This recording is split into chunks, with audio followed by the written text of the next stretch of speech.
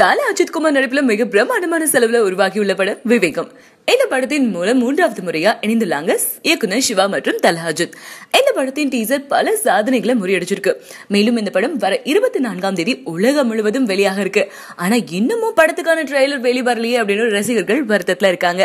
ஏற்கனவே வேதாள படத்துக்கு ட்ரெய்லர் வெளியிடாதது ரசிகர்களுக்கு சற்று ஏமாற்றத்தை தான் கொடுத்தது.